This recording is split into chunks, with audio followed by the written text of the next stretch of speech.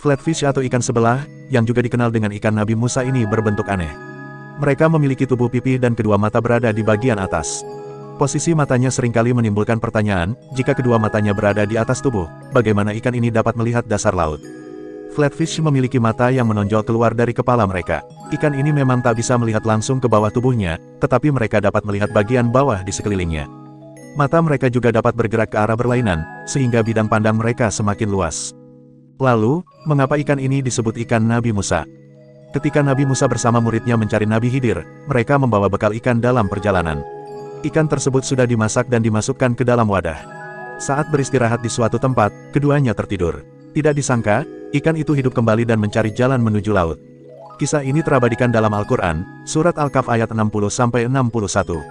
Cerita tentang hidupnya kembali ikan tersebut menunjukkan Allah Maha Kuasa atas segala sesuatu, termasuk menghidupkan hewan yang telah mati.